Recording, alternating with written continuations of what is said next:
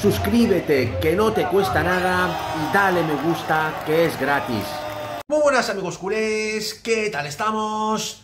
¡Vamos! Ahora sí, dicho y hecho, nuestro presi lo confirmó ayer en la entrevista que dio y hoy ya es oficial. Vitor Roque, nuevo jugador del Barcelona para las siete próximas temporadas hasta el 2031. El Barça paga por la superjoya brasileña 30 millones más 31 en variables. Eso sí, con una cláusula de 500 millones. Sinceramente, me parece poco. Me hubiera gustado que el Barça eh, le hubiera puesto, por ejemplo, mínimo mil millones de euros cláusula anti-jeques, como en el caso de Gaby otros jugadores, Pedri, etc. Yo creo que es una estrategia clara para renovarlo después, mejorarle la ficha, porque recordemos que, que Víctor Roque ha hecho un esfuerzo brutal, va a tener una ficha bastante, bastante limitada, va a cobrar tan solo 3 millones, ha rechazado ofertas que prácticamente le triplicaban esa ficha y yo creo que la estrategia en este caso del Barcelona es eh, renovarlo cuando pase, por ejemplo, dos, dos temporadas eh, en el club Blaugrana y ya entonces eh, seguro que le va a subir lo que es la cláusula como mínimo a mil millones de euros. El Tigrinio, como es su apodo, es un auténtico delanterazo. Yo he flipado cuando he visto cómo juega y como ya comenté en anteriores vídeos, es una mezcla de Ronaldo Nazario, de Adriano y también de Romario. O sea, es brutal, ¿eh? Vaya pedazo de jugador, ha cerrado la puerta, ¿eh? Y Mateo Alemán, ole y ole. Sinceramente, este sí, este sí que va a ser el fichaje que va a marcar una época, no solamente en el Barcelona, sino del fútbol europeo y mundial. Ahora vamos al tema principal de hoy. En la entrevista que dio ayer Jean Laporta, uno de los temas que tocó fue el de Ansu Fati.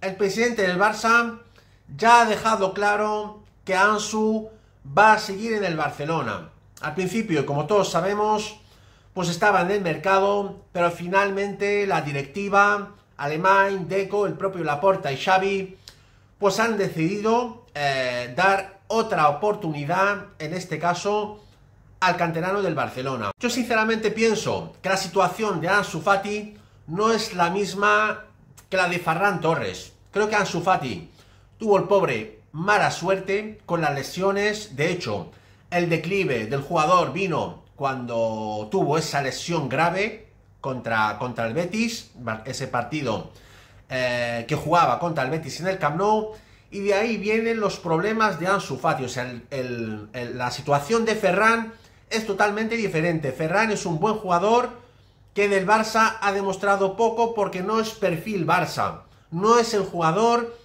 eh, que necesita en este caso el Barcelona. Ferran puede triunfar en otro club, pero en el Barcelona ha tenido muchísimas oportunidades, no ha tenido ninguna lesión, y aún así, pues eh, los datos eh, son bastante, bastante malos. El caso de, de Ansu, pues es totalmente diferente. La estaba rompiendo al principio, de hecho, iba para crack mundial y por culpa de las lesiones, pues el pobre lo ha tenido difícil. Además, lesiones graves, muy largas y son muy difíciles de salir, mental y físicamente. Entonces, esta decisión de la directiva de dar eh, la oportunidad, una oportunidad a Ansu Fati, me parece sinceramente más que acertada. Es más, estoy seguro que Ansu la va a romper la próxima temporada porque lo estoy viendo físicamente mucho mejor y sobre todo mentalmente más preparado.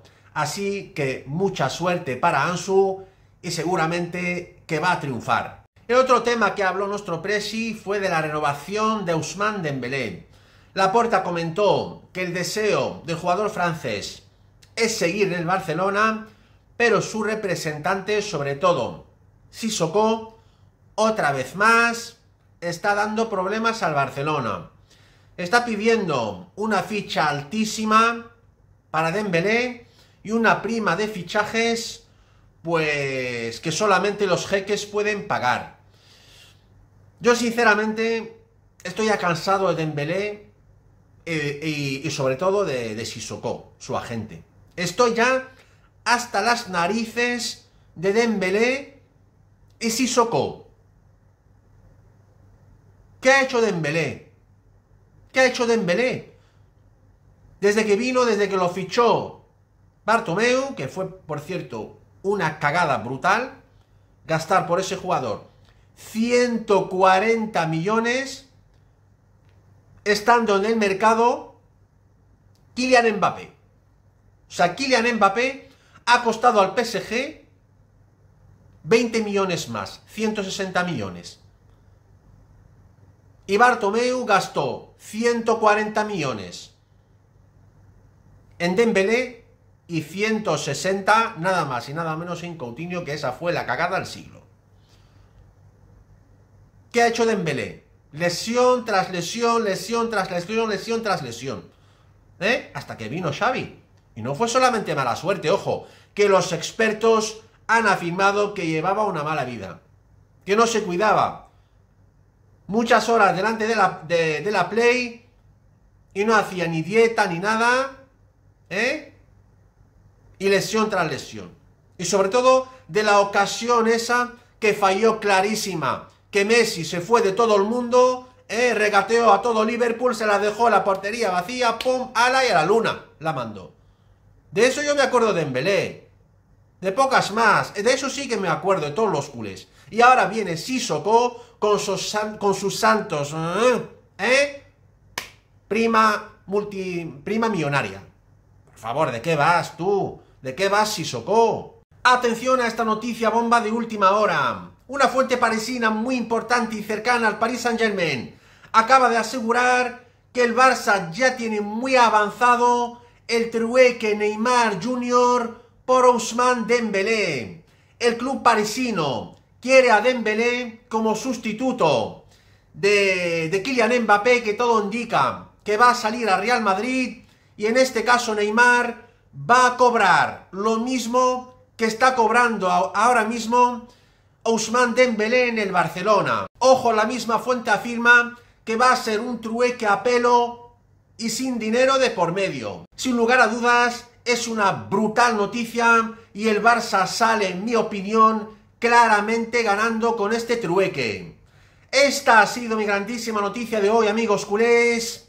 No os olvidéis suscribirse a mi canal, que no os cuesta nada, pulsar un like como siempre y dejarme comentarios para cambiar opiniones. Muchas gracias, Forza Barça por siempre, vamos a por todas y nos vemos muy pronto en mi próximo vídeo.